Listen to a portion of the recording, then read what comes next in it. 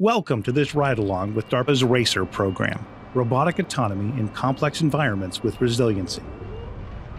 In this immersive video, you are riding atop the RACER Heavy platform as it's used in the 3rd Armored Corps' 36 Engineer Brigade's combat breaching demonstration at Fort Hood, Texas in October of 2025. If you haven't seen the RACER Heavy platform before, check out these additional vantage points to give you different views of it in action. Using the Textron M5 base, the RACER Heavy platform is a 12 ton, 20 foot long skid steer, tracked unmanned vehicle. The onboard autonomy stack allows for operation in complex environments without a priori information and is platform agnostic, so it could be used by virtually any vehicle.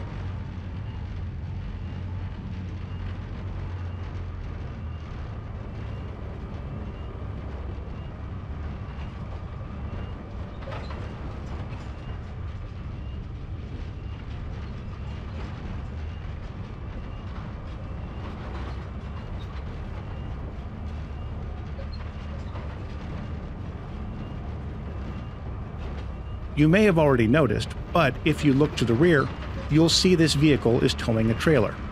Inside that trailer is a rocket propelled MICLIC, mine clearing line charge. Here's a clip of what that traditionally looks like in action.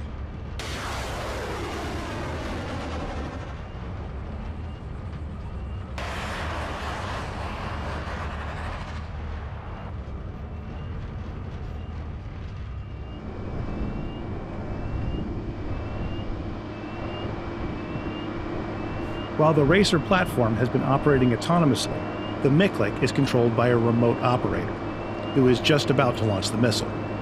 Be alert, it moves quick.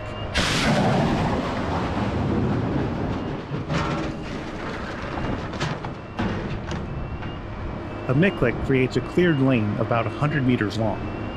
Here are a couple clips of that same shot to give another perspective.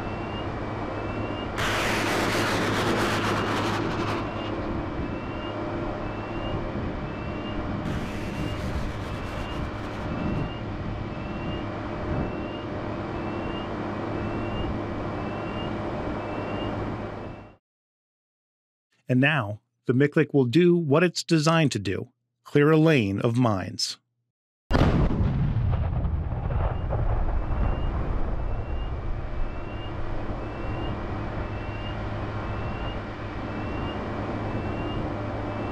And here are a few other angles of what that looks like.